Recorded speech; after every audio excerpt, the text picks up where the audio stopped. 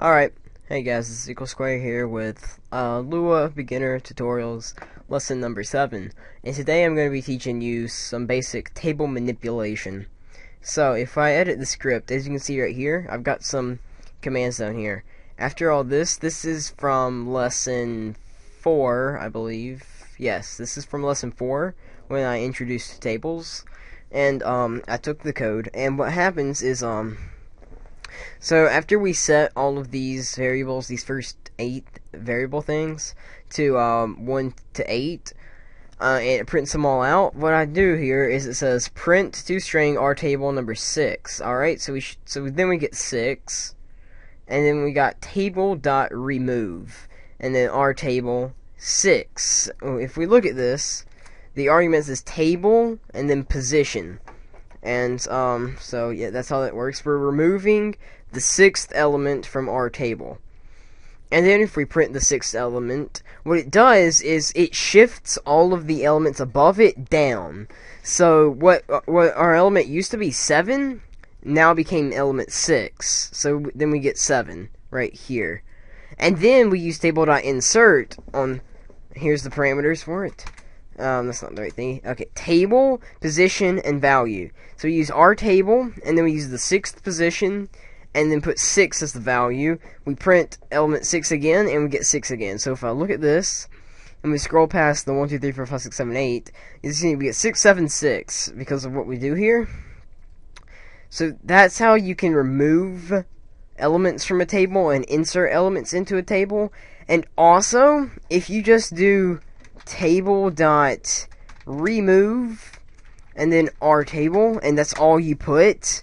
Then um, it the it defaults to the highest element in the array. So um, what we did what this will do is this will remove the eighth element if you just call remove our table without giving it an element. So that's how you um do stuff also, some more things you can do with tables is um you can see how many elements are in a table. So let's say I do print to string. You can do um, hash tag, hashtag. That's what I'm going to call it.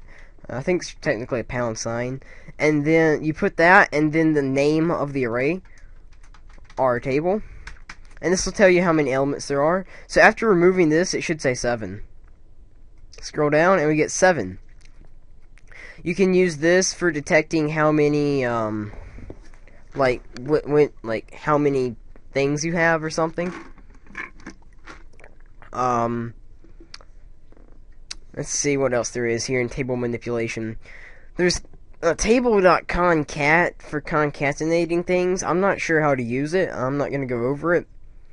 It seems a little weird. Um, Table.maxn returns the largest positive numerical index of the given table, or 0 if the table has no positive numerical indices. To its job, this function as a linear transversal of the whole table. Okay, uh, from what I gather, if I am to, whenever I do print to string table dot maxn our table I'm guessing this will give me 7. Let me see here. Yeah, it gives me 7 because I removed 8, leaving 7. Alrighty, that would make sense. That's cool. You can find out what the um, largest element in your array is by numerical value.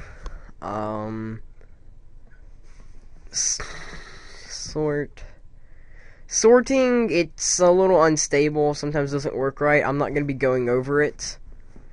Um, that's pretty much it for table manipulation. Um, very short but sweet lesson. Um, in the next lesson, I'm going to be teaching um, some advanced math. Um, and then after that, I believe we'll be just about done, if not done and after we're done, I can go on to teaching, uh, teaching more, like, how to use Lua in other usages, like different programs and things. So, be sure to like, favorite, comment, and subscribe, and I'll see you next time. Bye.